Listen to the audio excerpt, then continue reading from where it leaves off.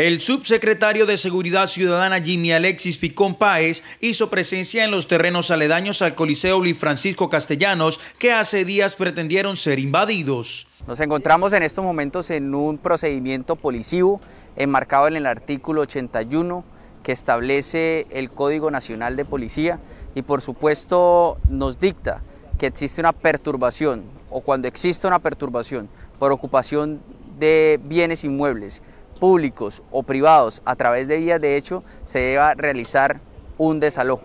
En estos momentos las personas que se encontraban en estos predios que son privados y el cual los propietarios establecieron una denuncia formal deban ser desalojados. Con presencia de autoridades policiales, la alcaldía distrital hizo la respectiva recuperación del terreno como lo contempla el Código Penal. Además, están incurriendo en delitos ambientales, dado que se presenta tala, deforestación, quemas de las cercanas a las rondas hídricas. Por tanto, nosotros como Alcaldía Distrital y la Policía Nacional acompañamos este ejercicio para brindarle la garantía, los derechos y las libertades a todas las personas de nuestro distrito.